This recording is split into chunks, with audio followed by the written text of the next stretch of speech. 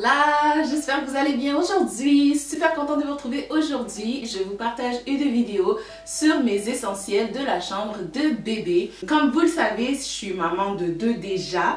Euh, chacun de mes enfants ont vraiment leur chambre séparée, donc bébé ne partagera pas sa chambre avec Quincy ou avec Destiny. Je vais vous expliquer un peu mes choix pour différentes choses, quelques trucs et astuces. Vous savez que je peux pas passer à côté de vous partager des trucs et des astuces. Puis, euh, je vais vous expliquer quelques trucs par rapport euh, à la chambre quand vous montez une chambre de bébé à penser à long terme et pas juste se concentrer sur l'aspect bébé. Il faut vraiment être, vision être visionnaire et voir vraiment sur un long terme. Et moi, ça me fait vraiment plaisir de vous partager le petit cocon que chérie et moi avons monté pour notre petit bout qui s'en vient euh, très très très très bientôt. Alors sans plus tarder, je vous présente tout ça. Avant de commencer à vous présenter mes essentiels, il y a quand même deux trois petits trucs que je veux vous partager.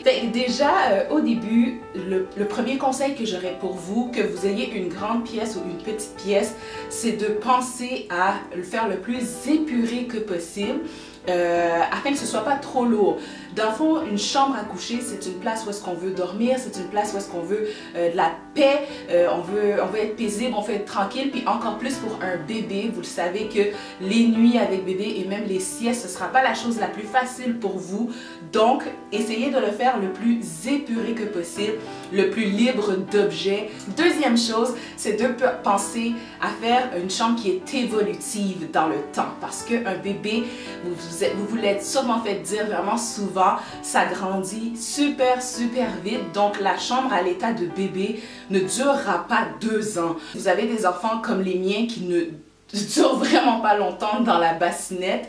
Euh, la chambre va venir à évoluer quand même assez rapidement et vous allez avoir besoin de plus gros mobilier. Donc, faut penser évolutif. c'est important d'avoir de l'espace, que ce soit dégagé pour que éventuellement, lorsque vous allez avoir à upgrader les euh, meubles de vos enfants, que ça ne devienne pas trop tiny, puis trop confiné, puis trop petit. Fait pensez-y. Alors, mon premier essentiel dans la chambre de bébé, c'est bien sûr le mobilier et il y a deux, deux, deux, ou je peux dire trois trois mobiliers qui sont des must pour moi dans la chambre de bébé. Le premier, c'est euh, le meuble de rangement pour les vêtements. Et moi, le meuble de rangement pour les vêtements doit me servir de table à langer. J'en veux, je veux pas les deux. Je veux pas un meuble de rangement plus une table à langer. Puis soyez bien à l'aise, hein, je vous partage vraiment ce que moi je préfère. Euh, mais euh, donc si vous voulez avoir les deux, c'est comme vous voulez. Mais moi, comme que je viens de vous dire, en termes de sauver de l'espace, sauver de l'argent, faire quelque chose qui épuré, j'aime vraiment vraiment combiner euh, la table, le, meuble de rangement des vêtements avec euh, la table allongée. Deuxième chose, c'est bien sûr la bassinette. C'est un essentiel dans la chambre de bébé, même si que pour nous, bébé ne dort pas dedans euh, lors des premiers, des premiers mois. bébé va dormir cette fois-ci dans le Moïse que je vais vous montrer tantôt. Et troisième essentiel, c'est la chaise berçante.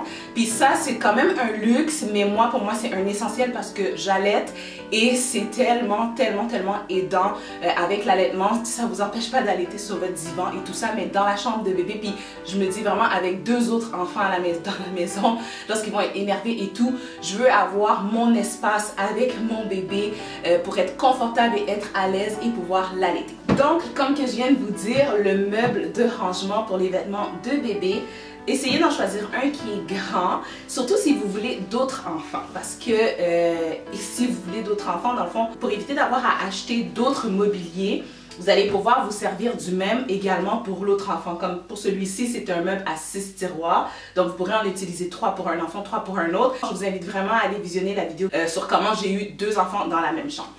Comme vous voyez, euh, c'est quelque chose vraiment de très très très simple. Moi, mon meuble, il vient de chez Ikea. Je vous mettre toutes les informations à propos de ce que je vous parler dans la vidéo euh, en barre d'infos. Et on reste encore une fois dans l'épuration, donc le plus libre que possible. Il n'y a rien sur la table à langer, tout est caché dans les tiroirs. Euh, il va y avoir bien sûr le matelas allongé. Celui-ci, c'est ma soeur qui me l'a donné, mais vous pouvez en trouver un petit peu partout, puis c'est vraiment, vraiment pas cher et pas dispendieux. Et puis moi, j'ai rajouté une housse par-dessus. Donc, dans la chambre de bébé, c'est super important d'être bien, bien, bien organisé. Euh, l'espace allongé, c'est vraiment un must. C'est l'endroit où est-ce qu'on va changer bébé. Euh, pour ceux qui me suivent depuis un bon moment, vous savez qu'à un moment donné, j'ai décidé de switcher la table allongée pour la mettre plus proche de la salle de bain. Mais dans les premiers mois de naissance, je pense que c'est bien de l'avoir dans la chambre. Donc, c'est important d'avoir une bonne organisation des choses dans les tiroirs. Donc, moi, le premier tiroir de rangement ici, il sert aux couches et aux lingettes. Donc, c'est vraiment organisé euh, de sorte. Ça, c'est vraiment le tiroir qui est vis-à-vis euh, le, matelas allongé. Dans les débuts, ça se fait bien parce que le bébé est petit, mais après ça, vous allez voir, plus le bébé grossit, plus il gigote. Donc, vous voulez être bien organisé.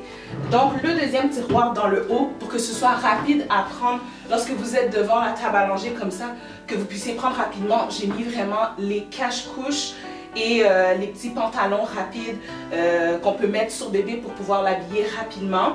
J'ai aussi mis un, petit panier avec les chaussettes, les petites mitaines avec les, les petits tubes. Dans le tiroir du bas, je mets les pyjamas. Donc, j'aime bien les avoir séparés vraiment juste pour une question d'organisation. C'est important de savoir aussi que dans les tiroirs, tout est organisé par grandeur. Donc, tout ce qui est nouveau-né en premier, après ça du 0-3 mois. Puis, j'ai pas plus que du 0-3 mois de toute façon parce que comme vous le savez, je connais pas le sexe de bébé. Ensuite, ce qu'on retrouve aussi sur le meuble, c'est un diffuseur d'huile essentielle, ce que je n'avais pas à mes autres enfants. Le bébé est malade, on peut diffuser de l'eucalyptus euh, un peu dans la chambre pour aider à libérer les voies respiratoires et tout. Le prochain must, c'est bien sûr la bassinette. Donc, euh, cette bassinette-ci, elle vient de chez Ikea. Je suis sûre que vous l'avez beaucoup vu passer sur les réseaux sociaux.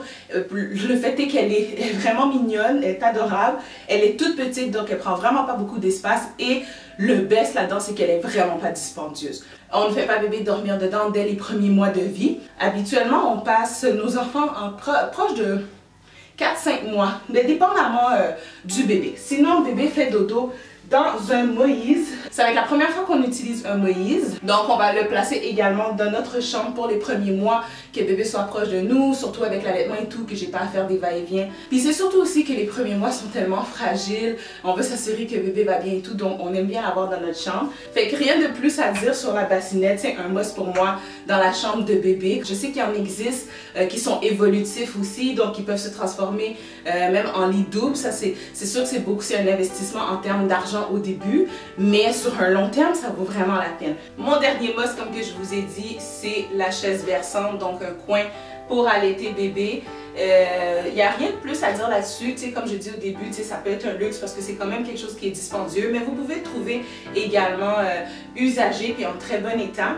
Puis moi, ce qui était important pour moi, c'était euh, d'avoir quand même un espace pour mes plus vieux. Si jamais ils veulent venir, tu sais, je m'attends beaucoup à ce que euh, ma fille Destiny veuille vraiment euh, tout le temps être avec moi pour regarder, pour observer. Fait que j'ai pensé à eux également. Donc, dans le fond, c'est le repose-pied de la chaise versante. J'utilise pas vraiment le repose-pied, fait que je me suis dit que c'était juste parfait pour mes enfants pour qu'ils puissent m'observer à l'été puis participer un peu à tout ça. Quelque chose que je voulais vraiment, vraiment vous présenter puis vous partager, qui est un truc, euh, ma foi, je pense qui est qui va vraiment vous aider avec votre bébé, c'est la desserte. L'objectif de la desserte, c'est de pouvoir la déplacer partout dans la maison et qu'elle contienne tout, tout, tout, tout, tout vos essentiels pour vous occuper de bébé pendant la journée. Je vous l'ai présenté dans une vidéo sur l'organisation des jouets des enfants. Je l'utilisais par contre pour pouvoir mettre les jouets des enfants puis que les enfants puissent me suivre dans la maison avec leurs jouets. Donc, ce qui est le fun avec la desserte, déjà, c'est que c'est un, un meuble qui roule. Comme vous pouvez voir, celui-ci, c'est pas celui du Ikea. Celui-ci, je vous mettrai en barre d'informations. Faites attention, il existe des dessertes euh, qui n'ont pas de roulette. Dans le fond, je vais vous présenter comment que je fais. J'arrange un peu les choses à l'intérieur. peut vraiment être votre meilleur ami puis votre helper durant les premiers mois de naissance de bébé. Moi, j'adore les desserts sur roulette dans la maison. là. J'en ai une dans ma cuisine où est-ce que je place mes fruits et mes légumes. Quand je vous ai, je vous ai dit, il y en a une euh, dans la chambre à Quincy maintenant où est-ce qu'on place des livres. Quand bébé va grandir, éventuellement, ça va pouvoir servir un peu comme celle qui est dans la chambre à Quincy pour mettre des jouets, pour mettre des livres. Donc, en fait, la dessert, c'est exemple si vous êtes, euh, vous voulez aller au salon ben, vous la traînez avec vous, vous l'emmenez au salon, puis vous avez tous les musts pour euh, vous occuper de bébé. Ben, si vous avez des plus vieux enfants, au lieu d'aller leur dire, va me chercher une couche, et puis là l'enfant part, vous ramène une couche, puis là, oh, on a oublié ça, va chercher ça, ben, tout simplement de dire à l'enfant, va me chercher la dessert, et l'enfant apporte la dessert dans le salon, puis il y a tout. Donc vous pouvez vraiment, vraiment l'aménager comme bon vous semble, avec vos essentiels. Euh, vous pouvez le changer au fur et à mesure si vous voyez que vous avez mis des choses que finalement c'est plutôt un essentiel. Moi, c'est un à quatre étages, donc il y a vraiment, vraiment, vraiment beaucoup de place pour mettre plusieurs choses. Donc en haut, j'ai mis une boîte de papier Kleenex. Ça, c'est pas tant pour bébé, c'est comme un peu plus pour moi. Si les enfants sont avec moi aussi également, un nez qui coule et tout ça.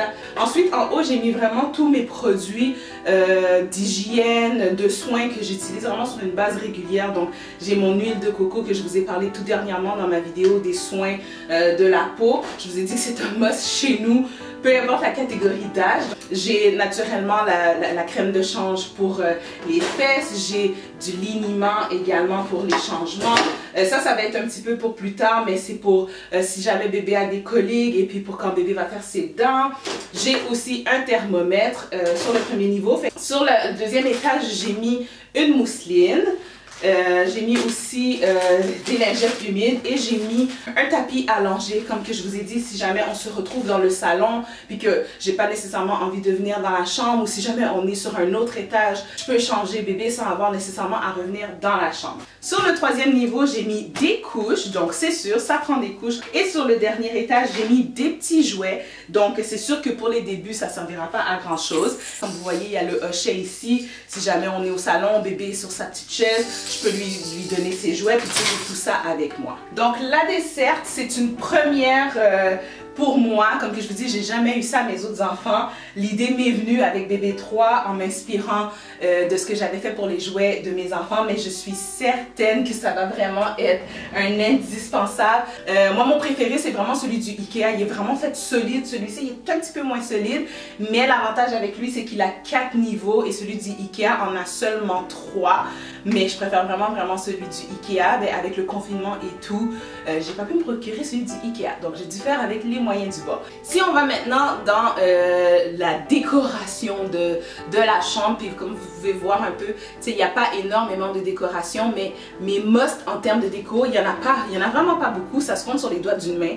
Premièrement, l'étagère murale. Vous le savez, je vous en ai parlé dans la vidéo euh, mes astuces déco euh, de la chambre de mes enfants. Encore une fois, dans l'aspect d'être euh, minimaliste le plus que possible et également de sauver de l'espace, c'est que ça prend tellement pas d'espace, puis c'est super beau. Donc, cette étagère-là vient de chez Ikea et j'y ai placé vraiment un minimum de choses. Donc on a une photo de famille, un petit ourson et une petite collection de livres. Dans le petit coin allaitement aussi, j'ai mis des étagères murales et ces étagères-là, si vous êtes là depuis euh, les débuts de ma chaîne aussi, vous les reconnaissez. Ils étaient dans la chambre de mes enfants euh, lorsqu'on était au condo. Donc je tenais vraiment à les repositionner dans la chambre de bébé ici. Puis euh, ceux-là, ils viennent aussi de chez Ikea, sont vraiment pas dispendieux.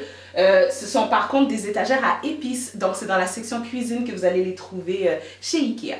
Un autre élément de décoration dans la chambre de bébé qui est un must pour moi et un incontournable, puis pas juste dans la chambre de bébé, dans la chambre des enfants aussi, c'est le mur accent. Donc moi, ça me prend toujours un mur accent, un mur qui est une œuvre d'art, un, mur qui est un élément que quand on rentre dans la chambre, on le voit tout de suite. Donc c'est celui-là qu'on a fait pour la chambre de bébé. Donc vous savez, nous, ça devait être une chambre qui était neutre. Donc c'est très facile d'y aller de l'aspect neutre, c'est de choisir des couleurs qui fit autant pour une fille que pour un garçon. Donc nous, on s'est concentré sur le blanc, le gris, le beige et le bois. Il y a un autre mur accent où est-ce que vous, que vous voyez souvent dans mes vidéos et c'est un beau beau beau mur de bois, complètement de bois dans la chambre.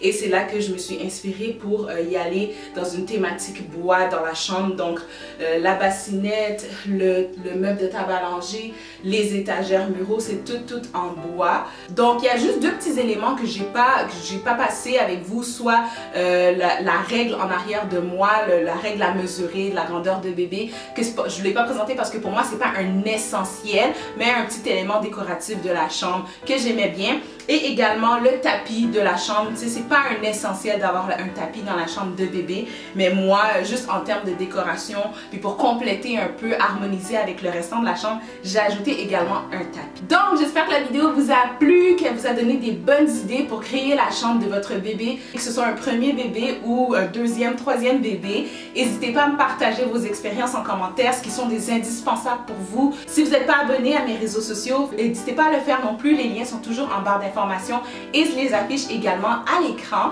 Je vais vous mettre en barre d'infos les liens des vidéos que je vous ai parlé et également les liens de tout ce que j'ai parlé dans la vidéo. Comme vous pouvez voir, beaucoup de choses proviennent de chez Ikea. Donc, je suis bien contente de vous avoir partagé tout ça. J'espère que ça, ça vous a plu. Si vous avez des questions, n'hésitez pas à me rejoindre en commentaire ou encore en privé.